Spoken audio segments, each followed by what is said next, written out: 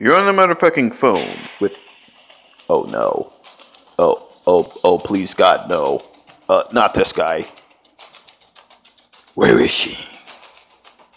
Uh, uh, uh, welcome to the show, Batman. Uh, uh, good to have you here. Um, uh, welcome to the motherfucking phone. Um, uh, I'm not exactly uh, sure uh, who you're looking for exactly. Uh, I'd be happy to help. Uh, could you describe her to me? You're gonna tell me where she is. She's important to me. So I'll ask you, man to man, is she at your house? Is she on your show? Maybe the Joker's got her tied up to a bunch of oil drums.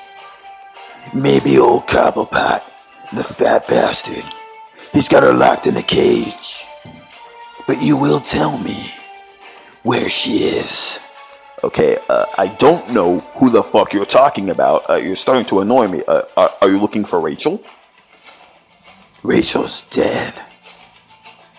Rachel's fucking dead. And it's messed with my head for a good long time. But that's not who I'm looking for. The person I'm looking for, you're gonna tell me where she is. Where is she? Okay, um, uh, are you looking for Selena Kyle or are you looking for Catwoman?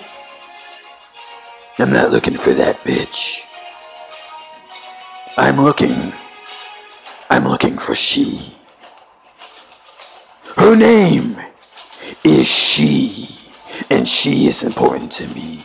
She is the reason I wake up every morning. She's the reason I breathe. She's the reason I am the night. She is the reason I am on the phone with you. And you will tell me where she is.